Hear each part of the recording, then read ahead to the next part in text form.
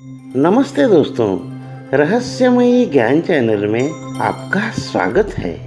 दोस्तों, मैं आज आपको आकर्षण तथा मोहिनी मंत्र दे रहा हूँ। दोस्तों, वशीकरण में तो साधक का उद्देश्य दूसरे व्यक्ति को वश में करना होता है, परंतु आकर्षण का प्रयोग दूसरों को अपनी ओर आकर्षित करने के लिए किया जाता है।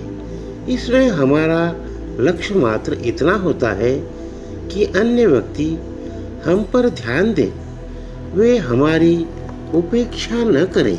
इसका आगामी कदम है मोहनी मंत्रों और मोहन के लिए प्रयोग किए जाने वाले गंडे तावीज़ों का प्रयोग।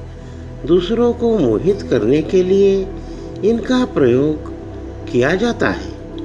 यहाँ भी साधक का उद्देश्य दूसरे व्यक्ति या व्यक्तियों को अपनी तरफ़ आकर्षित करना होता है। वह उन पर नियंत्रण करना नहीं चाहता। यही कारण है कि इस प्रकार के सभी प्रयोगों को सात्विक ही माना जाता है। क्योंकि इनमें हमारा उद्देश्य अपनी भलाई तो होता है, परंतु किसी दूसरे को हानि अथवा पीड़ा पहुंचाना नहीं। इसकी साधना सामग्री इस प्रकार है।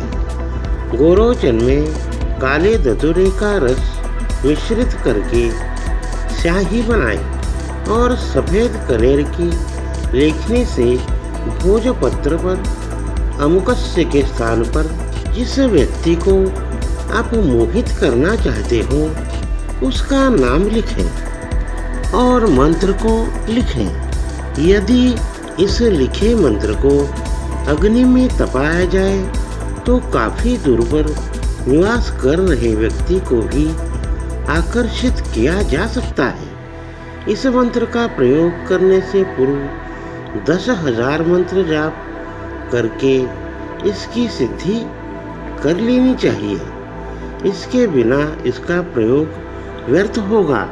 इस साधना का मंत्र इस प्रकार है।